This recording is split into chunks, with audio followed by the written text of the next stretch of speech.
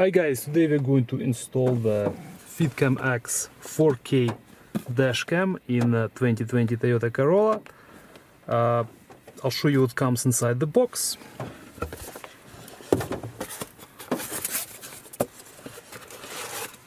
First of all, I want to point out that this camera is already in, is integrated into this plastic cover which goes in place of the OEM cover on the windshield. Camera only has one wire, which will be connected to the existing connector inside the vehicle. This way you avoid running the wires all the, all the way through the vehicle through the A-pillar. Uh, this is a T-splitter. One end will get connected to the uh, power inside that box, which we'll show you shortly. This end gets connected to the camera, to this wire. Uh, the camera is quite straightforward device. It has only two buttons, the power button and the take picture button. And camera already comes with the SD card in the set. The size is 64 gigabytes. Uh, besides that, in the set we have uh, actually have this plastic cover, the second piece, which goes right here gets inserted first like that. And then you push it in. Uh, to remove it I'll show you how it works. You will need to use a small screwdriver or you can try using your hand as well. Um, what you need to do is to use the screwdriver to push this small one inside and you have to push the cover at the same time. This way it will come out. And same right here. And this is a way to remove the OEM one as well. So we have this cover we have a trim removal tool we have the SD card reader and we have the manual Right now we'll show you how to remove the original cover. You will need to push the box down like that and as you can see it immediately comes off.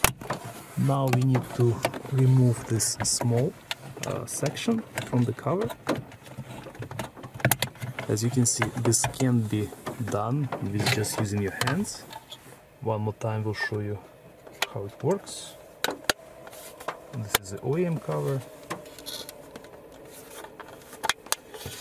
And this one is actually slightly easier to remove. Now we will need to remove these two red retainers and transfer them to the new uh, cover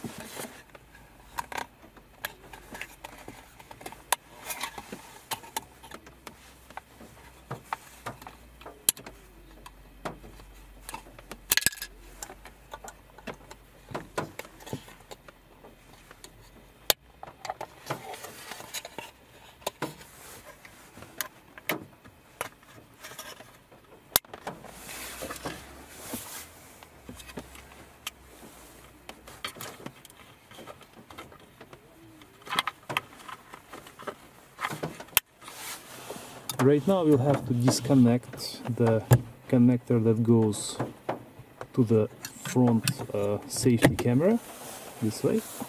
And now the T-splitter which we showed you earlier will get uh, connected instead.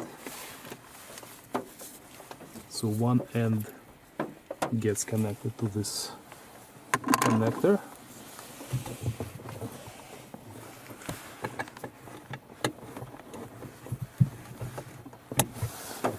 and uh, the other end the OEM cable will get connected to the T-splitter and this is where the camera gets connected to the T-splitter now we need to reinstall or install the new box. This FitCam X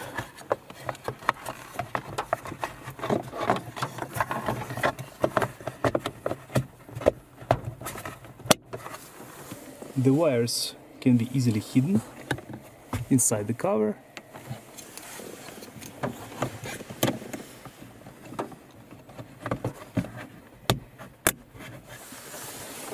And our installation is pretty much done. And this is how the camera looks like from the front. Here we have some of the features that this camera has. It has Wi-Fi connection, uh, loop recording, G-sensor, super wide angle, perfect fit, high dynamic range. Uh, right now we'll actually connect it to the app, but first we need to start the vehicle. Let's do that.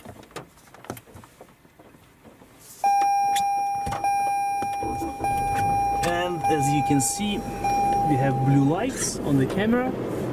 This means that it is working right now. The application is called FitCam X. Uh, what you'll need to do when you do it the first time, first you have to go to the settings and uh, you will need to find uh, Wi-Fi networks. So currently it's already connected to this dash cam, but when you do it the first time, this is uh, something like that, that is something you're looking for. Car, uh, dash, WA, etc. The numbers will be different. So once it's connected, uh, you can go back to the application and press connect right here. In the application right away you will see the preview of what camera records. You can switch the view like this and um, this small icon here will actually switch the view between front and rear camera but only if you have uh, the ca rear camera in the set. Uh, FitCam X uh, sell those as well. In our case, it's only the front camera. Um, so what else do we have here? We can uh, go. I'll go to settings right now. Press camera settings. Uh, sound recording. I will turn it on. We have photo resolution, different options. We have, as I said, 4K uh, resolution for the video recording currently it's set to 2K 2560 by 1440 but I will set it to 4K 3840 by 2160 loop recording option um, only one minute. This is how long your files are going to be. Uh, exposure compensation you can change that if you want WDR is on by default. Uh, video watermark, you can turn it off.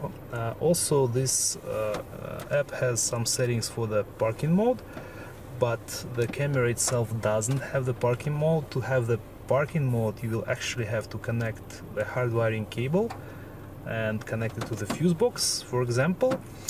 Uh, but in this case, since it's connected to the connector on the windshield it doesn't have it. If you want I believe you can get a separate cable from uh, FitCam X um, what else?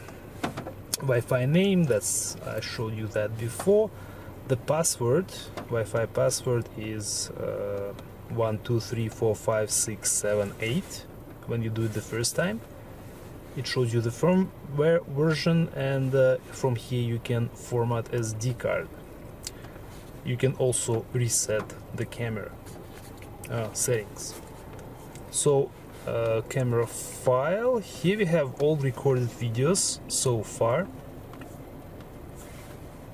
You can see all of them right here. You can either download it to your phone you can delete videos that you don't want and as I showed you before you can also take out the SD card and take it with you which in my opinion is uh, the most convenient option.